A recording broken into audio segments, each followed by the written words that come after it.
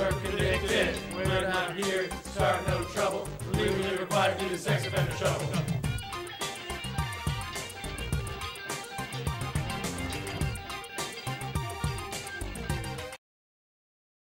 Hello, chat. Why do people say muted before the stream has even started? I just don't understand. Yes, I'm late. I'm late because the internet didn't work, and then like it didn't work in general, and the, I, I tried fucking with it, and that involved I had like a little Wi-Fi chip on my laptop to extend its range, and I ended up pulling that out, and then it wouldn't reconnect. Like the Wi-Fi chip was just like, no, I'm not going to work anymore. So I had to restart my computer, which means that I had to restart my browser, which I had already set up with all the clips and stuff preloaded. So then I had to set everything back up again. It was a nightmare and then my monitor was unplugged. I just, it's going to be nice. One day I'm going to have an office with a computer in it, and uh, I will be able to stream from office with computer. But that is a far flung uh, fantasy, a a very distant future, not currently coinciding with my my existent reality. Anyways, chat. Uh, let's. Should we? I guess since the stream is so late, I can just jump right into the stuff that's actually fun to talk about, can't I? That's the benefit of being late, is that people actually have a time to to show up. Um, yeah, let's just do the Pokemon shit. So let's just let's not let's not skirt around this. Uh, someone hacked Game Freak. Game Freak is the company which has produced Pokemon, one of the most successful media franchises in human history. Uh, in terms of its total profitability across all of its media, all of its games, its television series, its uh, merchandise, and, and so on and so forth. I think it's like, for whatever reason, it's neck and neck with Hello Kitty. For what I think China has single handedly made Hello Kitty a thing for Asian people. White people don't really care about Hello Kitty, but I think the Chinese market has uh, spent trillions of dollars into the Hello Kitty. Uh, Hello Kitty is like a secret, like massive corporation. It's the real like dark cabal. You want to know who runs the world, who's pulling the sh- the the strings, who's the shadowy cabal that hides behind the curtains, manipulating the flow of of the world economy. It's not BlackRock. It's not the Jews. It's Hello Kitty. Hello Kitty has amassed an incredible amount of wealth entirely off Asian people, and they use it to exploit us. Um, do we? Do I don't? Man, I think putting the hamster up is a bad idea, but we'll do it. We put the pumpkin hamster in there. We'll do pumpkins. This is pretty spooky, I guess. Uh, so Pokemon hacked. What did they release? A lot of stuff from the development cycles, going all the way back to uh, Silver and Gold, which is a little bit crazy. Um, old, uh, m- like beta versions of compositions, design documents regarding map layouts and puzzles in the games, uh, early editions of sprites, and lore. Uh, details about the characters, uh, the in universe. Because when you kind of when you are writing a, a fictional universe, what people will do is they'll actually write out like a bunch of stuff, and then when they develop their game plot or they develop the world from uh, f- for the user, they derive a lot of things that happen from the whole universe that is written. And um, when it's doing correctly, you can just make shit up as you go, of course. But a very well established world usually has uh, a trove of lore that doesn't actually get published, and it helps inform the world so that as the the player plays or or the reader reads, um, they get hints that there's something bigger than just what they're experiencing because there is.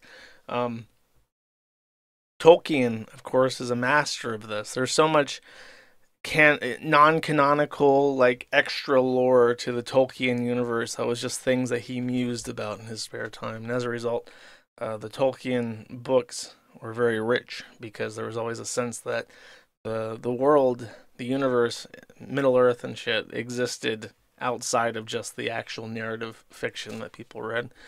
Uh, and Pokemon, as I as I wind back to the topic at hand, Pokemon decided to do this in a very Japanese way, with lots of bestiality rape fanfiction between Pokemon and humans. Um, Japanese people that were responsible for the creation of Pokemon decided that they would ape some real life Japanese mythology into the Pokemon universe, which, of course, as it is Japanese mythology, includes rape. So, uh, here are these stories that were plucked out from me. I've not actually read through them. Oh, I spoiled something, but oh, it's gonna get spoiled anyways. Let's just get it out of the way. Uh, this is what we're this is what we're breaching into. Okay, let's let's uh, no bones about it. We're getting Typhlosion here. Okay. Let's uh, start the stream off right with uh, bestiality pornography. Theme The relationship between humans and Pokemon, human like ways of thinking. Long ago, when the boundary between Pokemon and humans was unclear, there was a village someday, somewhere. One day, a girl from that village went into the mountains to gather firewood. She found well dried, deep wood deep in the forest, so she kept going further in, before she realized that the sun was setting, and she had lost her way. Uh, the man says, You must be lost. I know the way down the mountain, but with your pace, it would be midnight before we get there. I'll take you back in the morning, so why don't you rest at my place tonight? Um, he says this. You must be hungry. Eat this. Let's sleep for the night. Even if you wake up before I do, don't look at my face. The next morning, when the girl woke up, the man was asleep. She honored their promise, stayed laying down waiting. Before long, she fell back asleep. Uh, she was awakened by the man's voice. She looked outside. The sun was already setting. We'll eat green berries. Wait here. Um, and then he said again, "Don't look at my face." Uh, the same routine continued, with them waking up when the sun had set and the man going out to gather berries, and the two of them eating and sleeping together. Eventually, the girl realized that the man was a Typhlosion. As winter approached, the Typhlosion dug deeper into the cave and said to the girl, Go and gather firewood for the firewood. Break off the branches from the higher parts of the tall trees. Um. One day when she was awoke, the girl was holding a child. What? Where did that come from? After several days, the Typhlosion said, Your father is looking for you, but you are my wife, so I can't return you. I will have to fight him.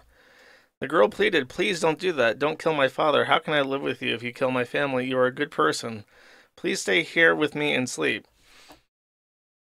Um, Typhlosion said, Your father is close by. Go and see. Where did the child come from? Is that how they described that there was like a relationship between them? One day when she awoke, the girl was holding a tri- child. Yeah, that's a weird way of like jump skipping time and saying like they had a family or whatever together. Um, the snowstorm was raging. Don't oh, I read that. Um, Typhlosion went outside. Wait. The girl said, "Please don't do it. Don't kill my father. If anyone is to be killed, let it be you." Goodbye, we'll never meet again. So she said, I'd rather you die than my father. And the Typhlosion said, okay, fine. He went outside and there was a loud noise. The girl looked outside and her father had killed the Typhlosion. She rushed out and said to her father, Father, you have killed my husband. I have been living with him all this time. He was my husband. Please give me a husband.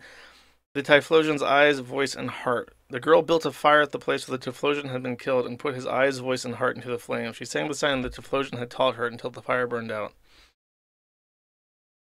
Um, the young men teased and tormented the girl and her child. It became worse over time. Then one day, they tried to drape a Typhlosion pelt over them. The girl returned home and pleaded with her parents, Please tell the villagers to stop teasing us. If they put that pelt on us, we will surely become Typhlosion. We are already half Typhlosion as it is. Despite the parents' pleas, the villagers did not listen. In fact, they found it even more amusing and eventually draped the Typhlosion pelt over the girl and her child.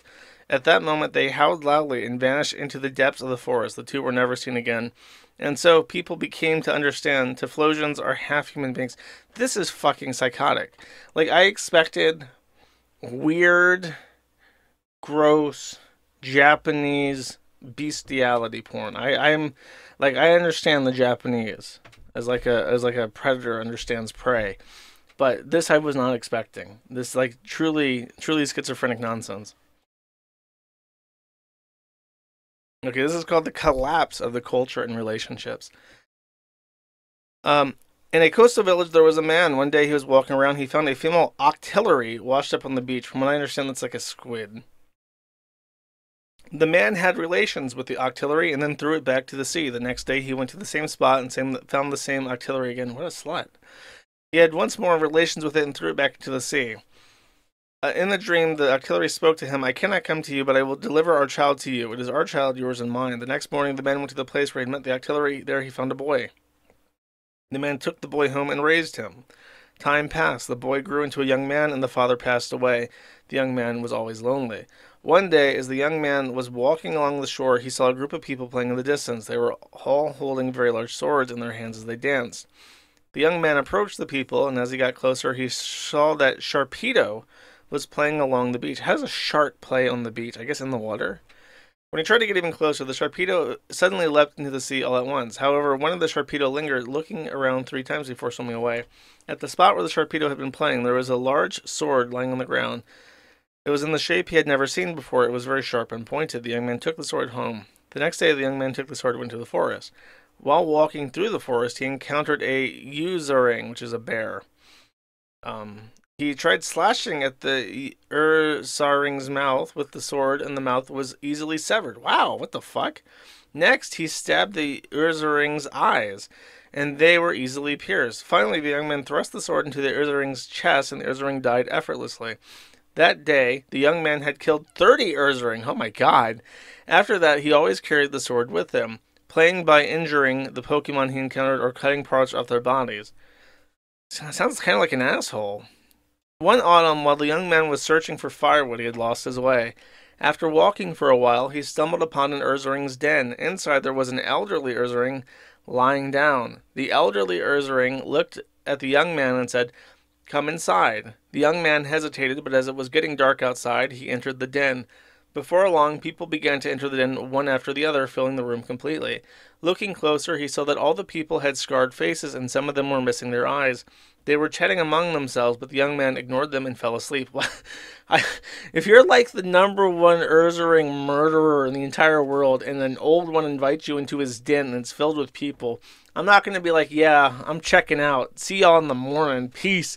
Don't touch my very pointy sword, by the way, that I have with me. That's nonsense. Okay, so he laid down in the den for some reason, even though the bears have circled him. When spring alive arrived, so he like stayed there an entire year. The elderly Ursaring said, do you want to go home? Then I shall send you home. When you return, a Wailord will soon be found near your village. Go there, we will send a man. You must leave the sword behind and bring a witness. Why did you do such things, cutting faces and slicing off noses? The elderly Ursaring escorted the young man back to the village. Upon his return, the young man recounted everything that had happened to the villagers. The following morning, the young man took the villagers with him and headed to the shore. As they walked along the coast, they found a large Wailord. Nearby on the beach was a Teddiursa. When it noticed the young man, the Teddiursa hid in the forest. The large Ursaring came out in its place. The Ursaring charged him. The young man tried to draw the sword he had hidden, but it got stuck and he couldn't pull it out. So he rushed at the Ursaring with his bare hands. They punched each other's faces, they strangled each other, and they choked each other to death, collapsing on top of one another.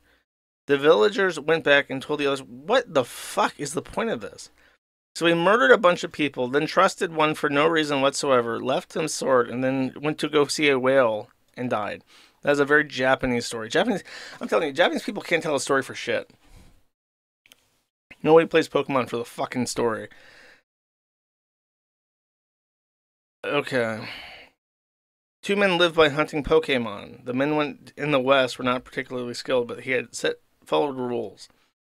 In the east, a skilled hunter often neglected these rules. They went to hunt and saw a Rapidash on the plain. Its lush mane shone beautifully in the sun. Its mane is fire. I imagine that it shines beautifully even at night because it is flame. As the man from the west readied his bow, the Rapidash spoke, We have children now. If I die, there will be none of us left in this plain. The man in the west lowered his bow and said, Then I will not kill you. However, I desire your beautiful mane, so I ask that you will become my wife. Okay. The Rapidash became the wife of the man from the west. About two months, when the Ponyta began appearing in the plains, the man from the west was riding on the back of his wife, the Rapidash, running across the plain. How do you not get set on fire when you do that? They reached a place where many Rapidash and Ponyta were resting. The wife said, There are my husbands. If you need, you may hunt them. If you treat them with care, they will not die. However, do not kill the female Rapidash or Ponyta. The female Rapidash are my sisters, and the Ponyta are my children. This means the female Rapidash are your sisters-in-law, and the Ponyta are your like your children. I mean, I think they're literally, unless he's like, I think he's sharing. He says that, okay, so she says these are my husbands. So he is sharing this horse. This is very weird. A few days later, the man from the east went out hunting. When he reached the plains, he saw the ponyta. Immediately, he shot an arrow and killed it. As he continued looking for more prey, he encountered a rapidash. It was a female rapidash. The rapidash tried to say something, but the man from the east ignored it and shot his arrow. He then cut off the mane of the rapidash he had killed, and, proud of the beautiful mane, decided to show it off to the man from the west. He wrapped the mane around his head and headed home. Eventually, tired of walking, the man from the east decided to rest upon a large tree by the lake. As the man from the west and his wife, the rapidash, walked along the lake shore, they saw a glimpse of the rapidash's mane under the shadow of the big tree. He is male. He has no children, so if you need, you may hunt him, said the wife. The man shot an arrow at the Rapidash. When they approached the play, he found the man from the east laying there wrapped in the Rapidash's mane. Oh my god. She tricked him into killing the guy. So this is like a nine. She says, "Take this man back with you, and as you hunt the Rapidash, follow the rules I have told you." So she, she fucked this dude, and then can tricked him into hunting the other hunter. And then she like threatens him and says, "Follow the rules I have told you." I guess implying that if he doesn't, she's gonna have sex with some other random Japanese man and trick him into killing him. Okay, that's very weird. Uh, so there were memes. I've already showed this one, which I had loaded up. Uh, this one is uh, specifically for Nick Rekieta, who may appreciate it. However, uh, people also notice this. The documents have authorship, chat. The documents have authors. And indeed, it appears to be a woman named Yu Nakatsui. Now, I have been told and warned many times, chat, that the female Gunnar Menace is a thousand times worse even than the male Gunnar Menace. But is it? Further research indicates that Yu Nakatsui was originally Suguru Nakatsui. The weird Pokemon pornography lore that you've just heard is the creation of a tranny chat. A Japanese 2000s tranny wrote, wove into the, the Game Freak lore Pokemon sex. so don't don't worry if you're angry about this to know that your childhood game has this weird menacing Japanese animal sex vibe in the background. Just keep in mind who really did it.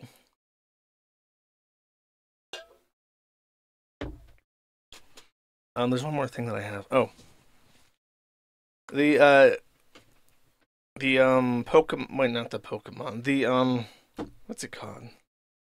Oh, the fans. Uh, the fans are angry. Poke for Relax says, okay, so now literally the entire po- plot of Pokemon Horizons has fully leaked. All the characters, Pokemon, storylines, backstories, plot twists, climaxes, ideas, world building, character returns, and more.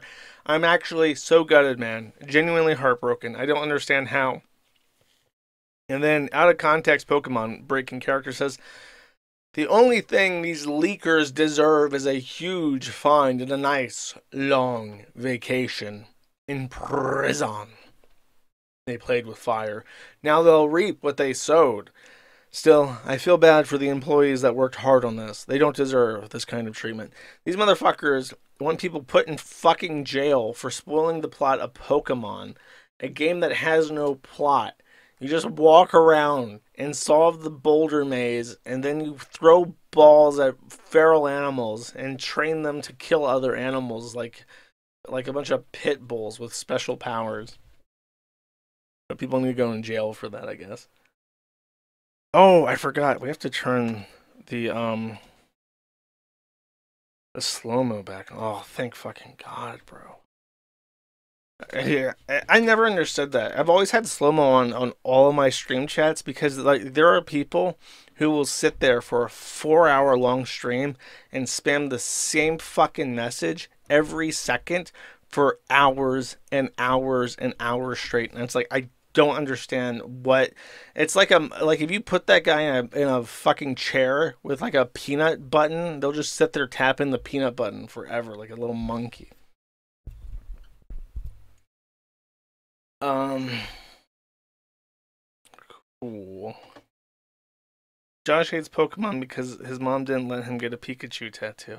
I could have gotten a Pikachu tattoo if I wanted to. Thank you for watching this clip.